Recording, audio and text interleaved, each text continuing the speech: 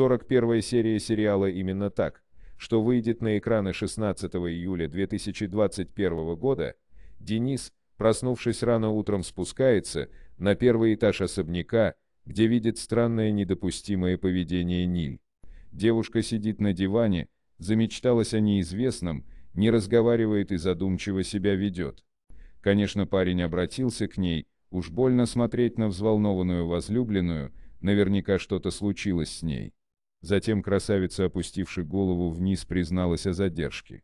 Такая умопомрачительная шокирующая новость отправила Дениза в недопонимание.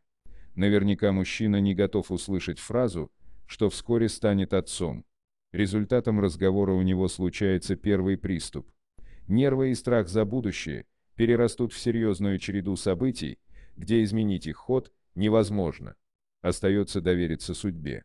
Сама красотка не понимает, почему на слово «задержка» любимый так разволновался, она ожидала другую, счастливую реакцию. Герой рассказывает, что произнесенные слова погрузили в прошлое, где он был маленьким мальчиком и с ним произошло много несправедливых вещей.